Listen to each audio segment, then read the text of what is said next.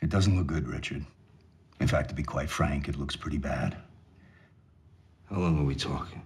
Probably six months. My name is Richard. I'm your professor. From here on out, we're going to do things very, very differently.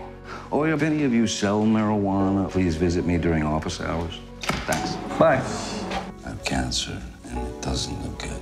Best of luck with your impending deaths. It's your health. There's no need to be facetious.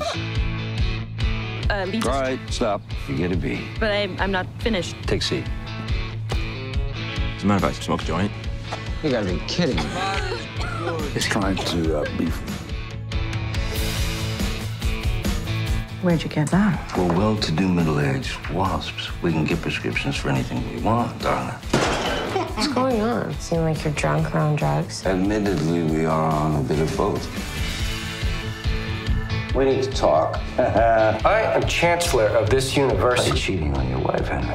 With the wife of a devoted faculty member. Specifically, mine. Are you all right? Um, no.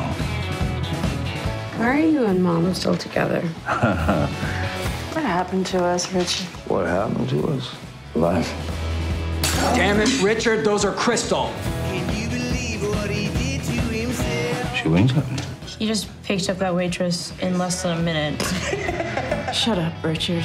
I hope your parents all told you that you die at the end. We sort of float without living.